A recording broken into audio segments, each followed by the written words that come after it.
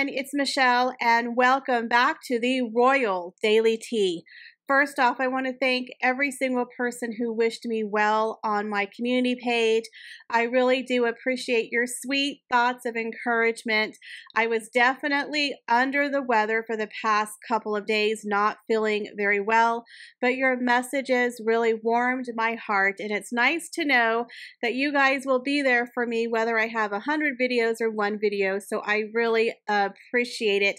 I also want to thank some people who have sent me some super chats and some super thanks, and also for the people who have made orders in purchasing my merch watching my videos religiously, if you send me a super thanks, if you buy my merch, everything supports me and my channel and helps me to continue making YouTube videos. So I appreciate your support. I really do have the best people on my channel. The RDT community is the best on YouTube. But you guys, we have a lot of juicy royalty to get through today, so you know what to do. Sit back and relax, grab yourself a beverage, and let's get into the royal daily tea. Well, another huge domino has fallen. Like I've said before on my channel, once the first domino falls, they just keep on a falling. First, we had the New York City car chase was a huge domino. Then we had them being dropped from Spotify, and now a huge Hollywood Award snub. They missed out on the much coveted Emmy Award nomination. Now, this is a huge blow to Harry and Meghan. As I've told you before, they really need a win to prove their worth in Hollywood, and they missed the mark. Harry and Meghan, their career in Hollywood is imploding right before their very eyes.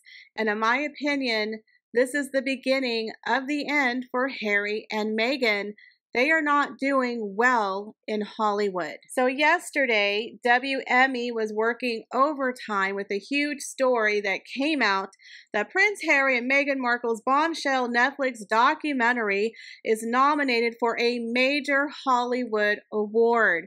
The problem is, it's not true. They, of course, came out with this story the same day that the Emmy nominations were announced tricking people to believe that Harry and Meghan had won an Emmy nomination, but they in fact got a huge snub. They pretty much got cock blocked for an Emmy award. A list Hollywood has spoken and they said, Not today, sis. You can't sit with us. Okay? But they did purchase an award to make themselves feel better, kind of a consolation prize for Harry and Meghan. But a lot of people who are not in the industry don't understand that the award that they actually got a nomination for doesn't mean anything. I used to work in the industry and I can tell you there are only five real awards in Hollywood that mean anything to everyone in the industry.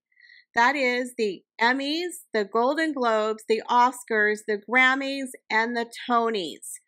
The People Choice Awards, the MTV Movie Awards, the SAG Awards, those are all secondary awards. But in Hollywood, it is the top five awards that mean anything in the industry. And that is why Harry and Meghan were desperately trying to get themselves an Emmy nomination because they have to prove to people they're worth the money. We're worth the moolah, but word out on the street is you ain't worth it because you stank. Spotify is telling everyone run for the hills. Put your pocketbook away and save your money because you're going to go broke if you sign these two idiots in a contract. I do find it interesting. As far as I'm aware, Spotify has not come out and apologized for Bill Simmons' statement on the dynamic duo from Montecito. It's crickets. They're literally standing behind what Bill Simmons said. As far as I know, there has been no apology nor retraction on him calling them lazy grifters. So he has literally put it out to the world don't work with them. You're going to regret it. We've laid off half our workforce. We're in the red. They don't deliver. And I think the word is out in Hollywood that they don't deliver.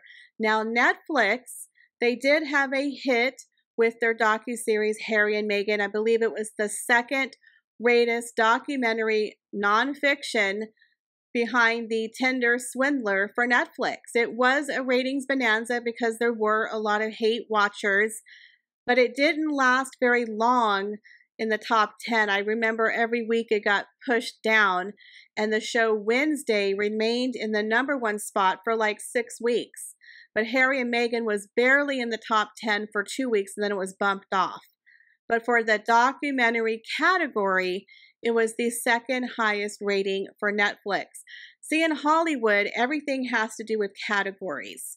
And the documentary is a lesser category in most of the awards, in most of the things that they count for movies, uh, TV shows, documentaries are normally not the most coveted spot. They're still very important, they're still very interesting.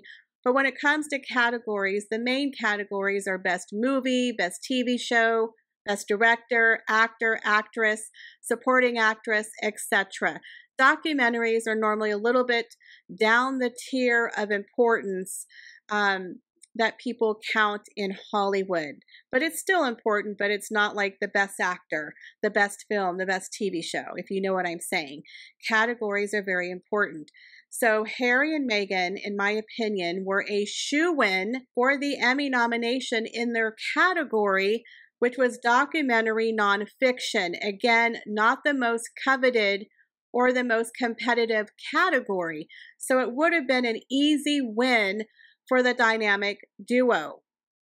Now, if you remember, I believe Oprah Winfrey, the interview, the worst interview in the history of television, I believe it was up for an Emmy Award, but she lost to Stanley Tucci's cooking show. So even Oprah Winfrey got that interview an Emmy nomination because it's Oprah. She's an A-lister and it was a smaller category, but she lost out to Stanley Tucci's cooking show. So I really thought Harry and Meghan would have been a shoe-in because they're kind of infamous, and it was a very popular documentary, although it was not well done, nor was it well received, it still was a ratings bonanza for Netflix. And I'm sure Netflix really wanted to have an Emmy nomination because it looks good for them and they can validate okay, signing Harry and Meghan wasn't a mistake to their shareholders, but they did not get the Emmy nomination. Now, in my opinion, they lost the Emmy nomination due to the New York City car chase and all of the negative dominoes that have fallen since. Everything that could go wrong has gone wrong. So let's just say the last 90 days have not been great for Harry and Meghan. As a matter of fact, I would say 2023 has not been a stellar year for the moochers of Montecito. I believe my 2023 predictions are coming true when I said 2023 was going to be the annus horribilis for Harry and Meghan. Well, I don't think I'm that far off, guys. It hasn't been a great 90 days. It all started with the New York City car chase. In my opinion, that was the biggest domino to fall, and it has wrecked their credibility in the industry. They became a global laughingstock on a grand scale.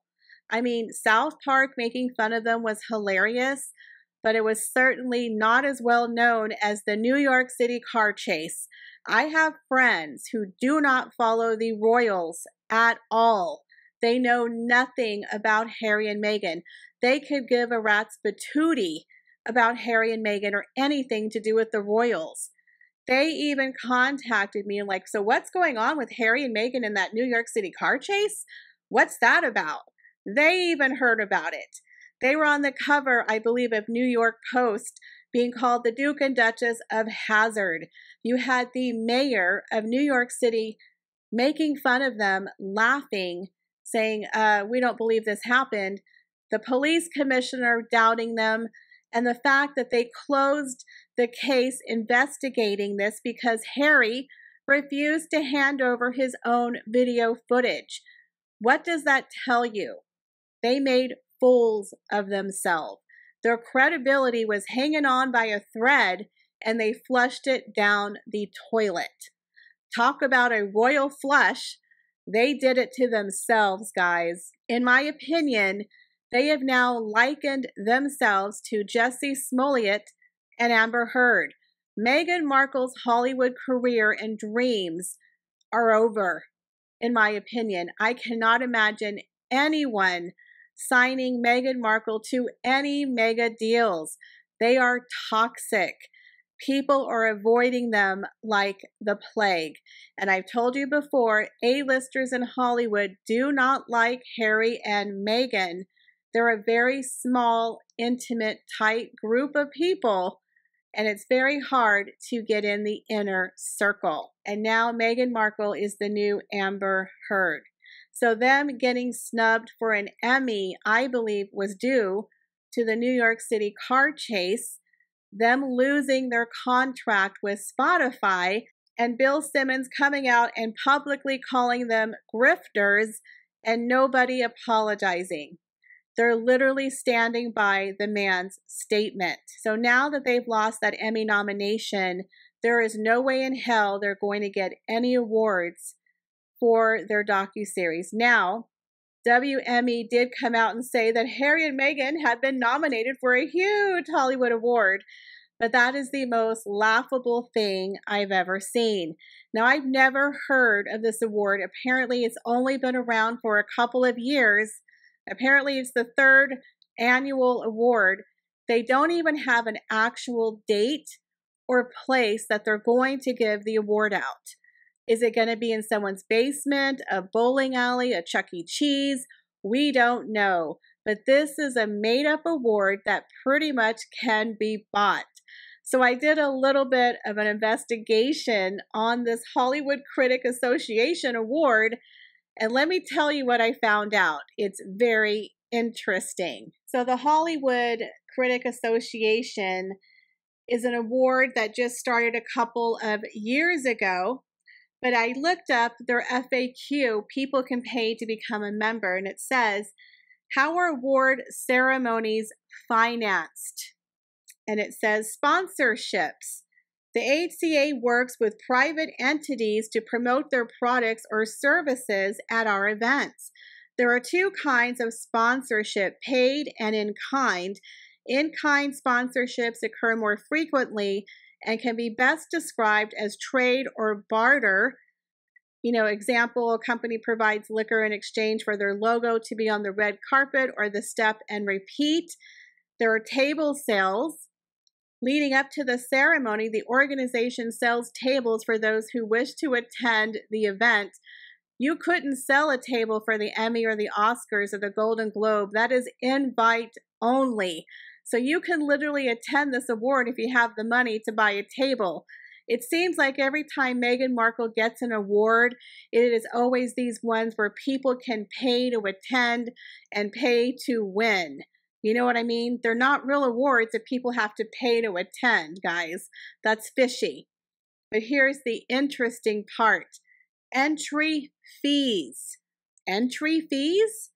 The HCA TV Awards only, which is the one that Harry and Meghan are nominated for. Again, categories matter.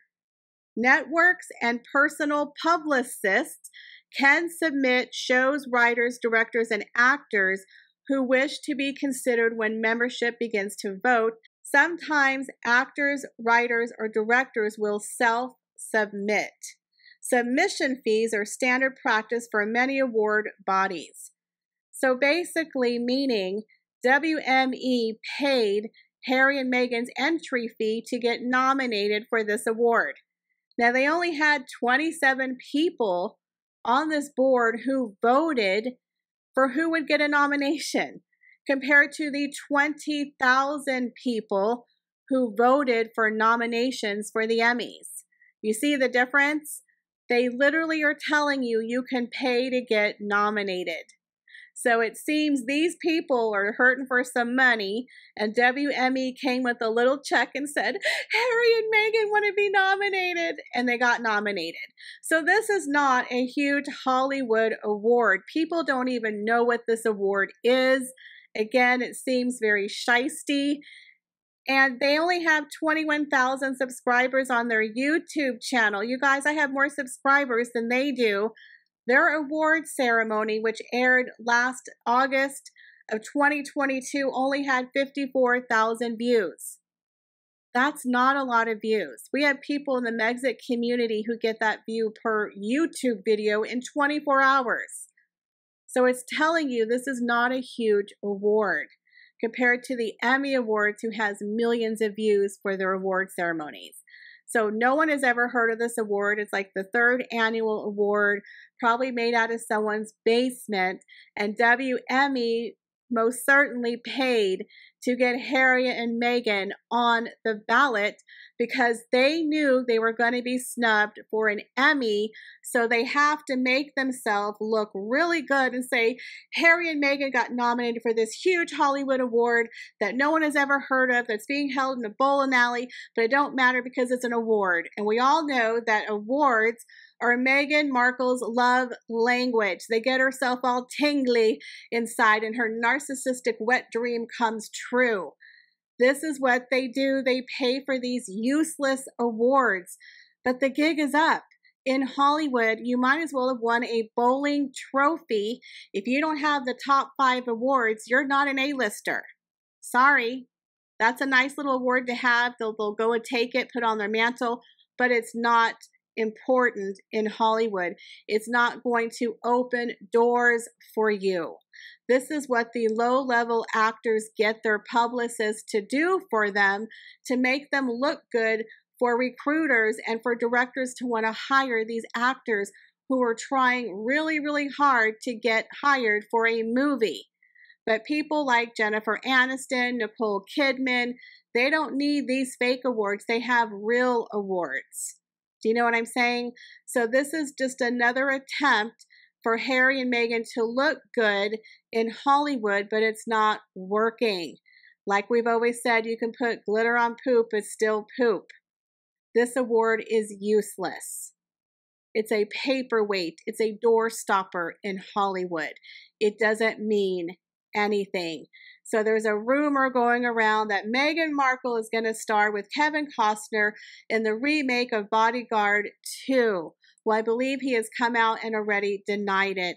There is no way in hell Meghan Markle is going to be cast in any A-listers movie unless she's going to be playing herself in a little walk-on part.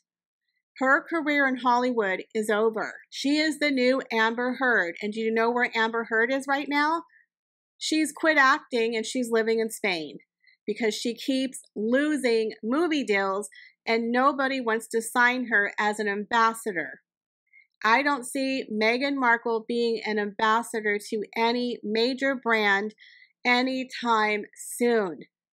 All they have to do is call Bud Light and ask them about Dylan Mulvaney and see how well that went for them.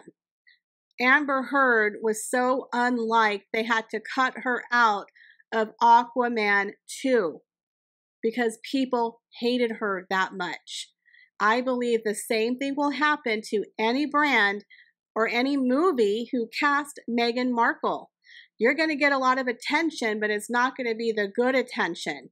I don't know how many of my followers have told me they've dumped Netflix because Netflix signed Harry and Meghan. Y'all are very passionate about that. You get mad at me for still having Netflix, but y'all, I don't have cable you know, give me a break. But I'm just saying, so many people jumped ship because they signed Harry and Meghan. So, in my opinion, Harry and Meghan are going to have a very hard time keeping that Netflix contract afloat. They need a win. And if Harry loses his lawsuits, he's going to lose them all. If he loses the home office, if he loses the one against the Mirror Group, in my opinion, all the other dominoes are just going to fall. And they're going to lose upwards of $20 million. That's a whole lot of moolah. And considering the fact that they are not signing any major deals, when is the last huge deal Harry and Meghan have signed since 2020? Nothing. It's been Spotify, it's been Penguin Random House, it's been Netflix, but they haven't done a great job, and Spotify has already dumped them. So they need to have a huge win on Netflix. We don't know if The Heart of Invictus is supposed to come out next month, if it's going to be a hit or not.